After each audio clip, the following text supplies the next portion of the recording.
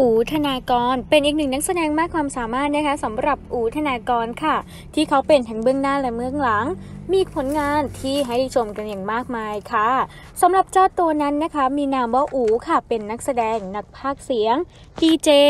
นายแบบพิธีกรและผู้บริหาร ใครที่เป็นแฟนคลับละครแบบบู๊แอ็คชั่นแห่งค่ายยูมาในอดีตก็คงจะทราบกันดีว่า ฝีมืออย่างคุณอู๋นั้น โอ้โห ไม่ธรรมดาเลยแล้วค่ะ ความคมเข้มและความเท่ของเขาเมื่อครั้งสมัยที่เจ๊จียังเป็นสาวเนี่ยเจนี่กรี๊ดหนักมากเลยนะ เมื่อช่วงหลังมาคุณอู๋เนี่ยเขาหายจากหน้าจอไป แต่ก็มีผลงานให้ติดตามกันอยู่บ้าง เชื่อว่าหลาย ๆ ท่านคงจะคิดถึงเขากันแล้วค่ะ ซึ่งในวันนี้นะคะทางทีมงานเนี่ยไม่พลาดค่ะ พาทุกท่านมาติดตามเรื่องราวของเขาไปพร้อม ๆ กัน และสำหรับตัวเขานั้นต้องบอกเลยค่ะว่าเป็นอีกหนึ่งคนที่หลงไหลการท่องเที่ยวในสไตล์ญี่ปุ่นอย่างมาก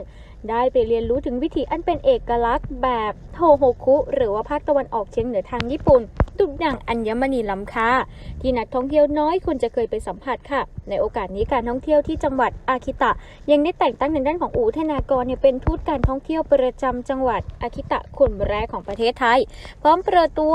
เป็นการเตรียมเปิดตัววิดีโอประชาสัมพันธ์จังหวัดอาคิตะ เพื่อบอกเล่าเรื่องราวการท่องเที่ยวในจังหวัดนี้ ให้เป็นที่รู้จักในหมู่นักท่องเที่ยวชาวไทยมากขึ้น และตอนนี้หนุ่มอู๋เองนะคะ ยังเปิดร้านอาหารอยู่ 2 ร้าน ซึ่งเป็นร้านอาหารญี่ปุ่นอยู่ที่ The Paseo Park กาญจนาพิเศษค่ะ แล้วก็เป็นอีกหนึ่งร้านคือ โอโคโนะมิยากิ เป็นอีกร้านอาหารทะเลชื่อ